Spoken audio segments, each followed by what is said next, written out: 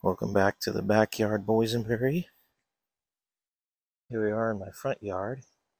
I have a peach tree, several peaches growing on it. It's kind of nice. I didn't realize I had a peach tree out here, but uh, there's a few of them that are growing.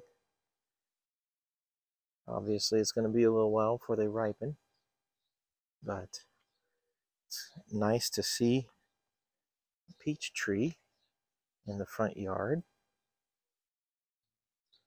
I have had a few of these already fall off the tree. They're on the ground, but um, there's just a few. It isn't really producing a lot of fruit, but it is producing some. The branches seem to be real pliable, even though some of them are dry, like that. This one looks pretty dry, just breaks off real easily. But obviously, the tree is still doing very well. We have all this new green growth. Here's a few of the peaches I need to pick up off the ground.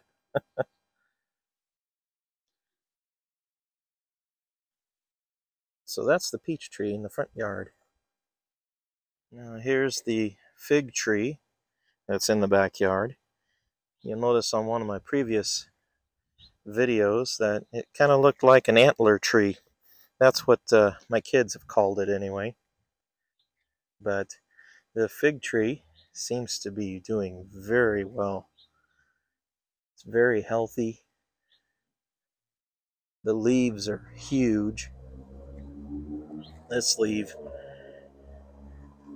is about the width of my hand. This one is big. So the fig tree is doing well. I have not seen any fruit developing on the tree yet.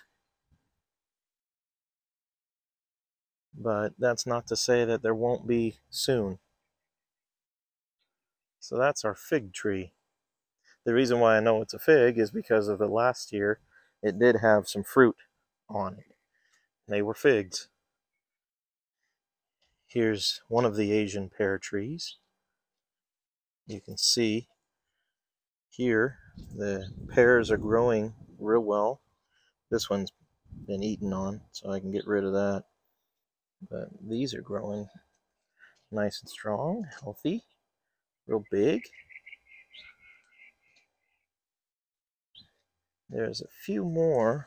There's one that's over here that was just really massive. Yeah, there he is. This guy right there. There's a big Asian pear tree. Or Asian pear, excuse me. There's a few more on there. I think. I can't remember exactly where they're at. I think they're up in this general location up here. So that's number one of two Asian pear trees. And the other one over here, this one has very little fruit. In fact, it's only got a couple. Here's one of them. I don't remember where the other one is. But I think it's down in there. Yeah, I can see it, but it's really down in there and it's real small.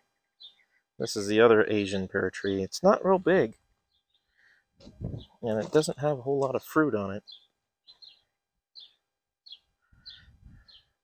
So that's Asian pear tree number two. This is a Chinese red date or jujube. This is the one of two And uh, all of these little blossoms here, all of these things, these will turn into fruit, into the jujube or the red dates. Um, I had a lot of wasps around it last year. I trimmed it back really far. You can see in one of my other videos how far back I trimmed it. Um, but it's it's really growing. It's growing really healthy, strong, and full. That's one of the Chinese red date, also called the jujube. This here is one of the pomegranate trees.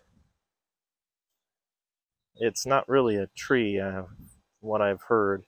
It's more of a um, of a large bush.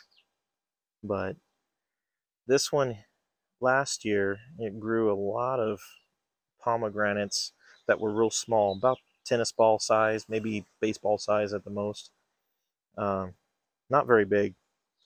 Lots of seeds, very dark uh, seeds inside of it, very dark fruit, but they just didn't get very big. This is pomegranate tree number one. Right next to it is our pineapple guava or feijoa. The feijoa tree, and uh, this is supposed to have green fruit, uh, guava, green pineapple guava is what they call it, um. I've been doing some research on this to find out what they taste like, and apparently they're very sweet fruit. So all of these little clusters of um, flowers are supposed to turn into fruit. So we shall see what happens. It's um, I don't have any fruit on it right now, but from what I heard tell, it's supposed to be pretty good. Here's the boysenberry bush. I do videos on this, specifically on this. It's it's done so well. I've been so pleased with the transplant that we that we had that we did at the beginning of last year with springtime. It's really taken root. It's established. It's doing well. Very pleased with it. Right next to it is our second jujube tree or uh, red dates. I trimmed this one way back as well uh, in the uh, late fall, early winter. You can see in the other video how the difference of how much it's grown. Looks like some of it is starting to wilt. That's interesting. Huh. I wonder what's going on there. It's dry. I'll have to trim that branch off just in case there's a disease or something that's attacking it. It's a nice tree. It has really long thorns on it though. I don't know if I can get a picture or a view. There's a thorn right there but you can't really tell. Can't see it too well. Ah, here you go. See that thorn right there?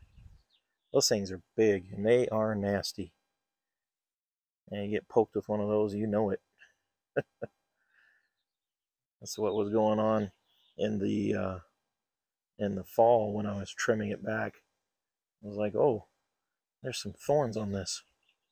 Then right next to that is the other pomegranate tree. Now this one has really done well. It's very thick, very full. Um, I'm doing my best to keep it from growing to the neighbor's yard because I want the, the pomegranates to come over on this side, not on that side. Last year, we uh, we had pomegranates on this that were size of grapefruits or bigger. They were just huge, probably the size of a softball or bigger, and um, beautiful. They were really tasty. Really enjoyed uh, making pomegranate juice out of those. Got the press. Um, here's a few pictures of what we had last year and how I used the press to make some pomegranate juice. I froze the juice and uh, We put that in ginger ale, Sprite, whatever you would like. So that's the second pomegranate tree. I believe that's about it. That's all of the trees that I have in the backyard. Thank you for watching.